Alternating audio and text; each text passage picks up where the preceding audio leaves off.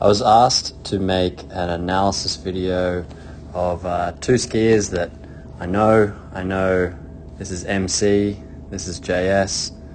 Uh, JS has worked at Thredbo um, in the past. We don't know each other that well, but we, but we know each other. I've worked with MC quite a bit in New Zealand with the Rookie Academy, and they made a really cool video of them talking about short turns. In the whole video, there's three of them, another guy named Guy, and they're talking about just working on short, short turns and, and the struggles with it. And I commented and I said, I like MC skiing in this video uh, more. Like I'm like I enjoy the turns more, and that's not to say JS is not a great skier.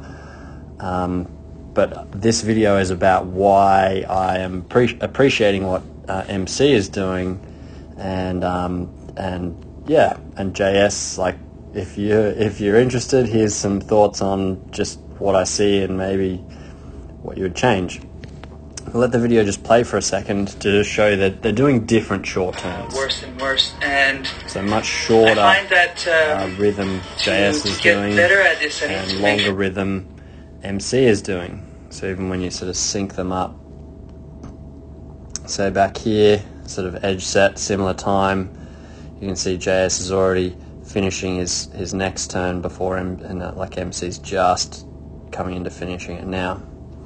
So definitely different rhythm, um, but I still think what I talk about here, JS could incorporate and perhaps make um, some some more impressive, more fluid short turns. So the first thing I would say that that stands out to my eye, okay, um, is is this completion phase. What I see here is like JS's upper body mass is sort of like still continuing to drop down against like in this direction where it's come from from, from the previous turn and it hasn't been like he hasn't caught his upper body with the redirection caught it and sent it this way the legs catch and go that way but you see like his body keeps going. If I go in these these frames here his body keeps going down down down.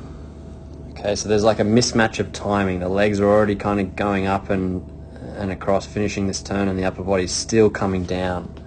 There's like another impact. And then so then you you get this like bounce up effect where he's like a lot off the snow and his body has gone from being really compressed to sort of stretching out and he has to wait wait wait wait and then becomes again late on the edges back down again.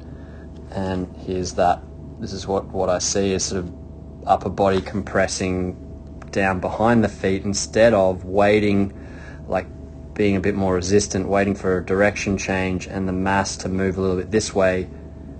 Then the legs make this movement to um, help the transition. So if we go up to MC uh, something I like if we just sync up like two turns here. Okay.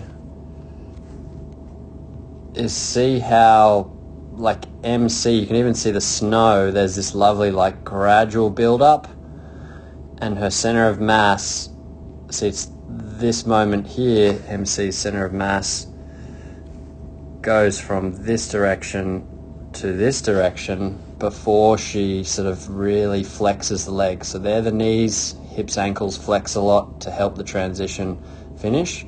But it's timing wise a little bit boom boom there you go you can see the redirect of the upper body. So upper body has been going like in this direction ready? And then now catches with the feet goes in this direction. Then this starts moving. Okay whereas JS body is going in this direction. Going going going. Feet catch go. Upper body's still coming down. Down down squashed. So it's like complete opposite kind of timing which uh, spits him up. Okay. Now the other thing I would say that that stood out to me that I liked and MC I know has worked on this because we we got some coaching from Takao Maruyama is, is allowing the pelvis to be a little bit squarer, so not as counted in the turn, so facing more the direction of where the ski tips are, and she talks about in the video, and that allows her to develop this uh, alignment of her leg, outside leg at the start of the turn, whereas JS at a similar moment can't do that. So because of how he finished, his pelvis is a little bit more counted or caught behind, and so his leg is rotated out this way, and there's more just a rotation of the whole entire leg. So whole entire leg is one instead of MC is able to rotate the upper thigh, but allow the skis to track out wider to make a like a, a more uh, round, loopier short turn. Okay, and then that puts her in a better position here where the forces build to get her mass, which has been upper body mass, been traveling in this direction, to catch against the feet, get sent in this direction, and then allow the legs to flex. So you can see it, catch, catch, masses redirecting, redirecting, and then now you see the legs come through. JS, mass is still coming down, legs are flexing up, but he's still coming down with a heap of this uh, upper body. So you have to be way stronger if you ski like JS. You don't have to be as strong because your timing is a little bit better with MC. And look at this, if I just go back and forth, hopefully, I mean, other people appreciate this smooth transition right here versus this kind of abrupt compressing down and squashing yourself, popping back up. Okay. I'll finish finally by saying again, both good skiers. JS is uh, like very exciting to watch in the bumps and he's very athletic, and so he can utilize that to his advantage.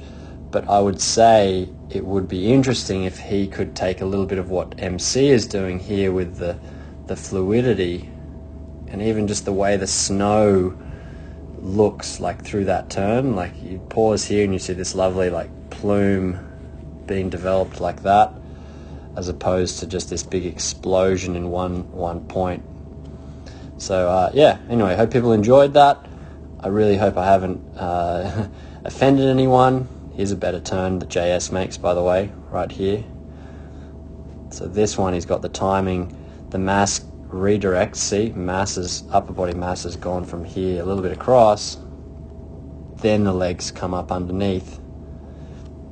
But still, there's a little bit of a pop up because this is just too forcefully trying to come down and hammer the edges here instead of ride the edges get the center mass deflected, and then get the legs to, to move into the next turn.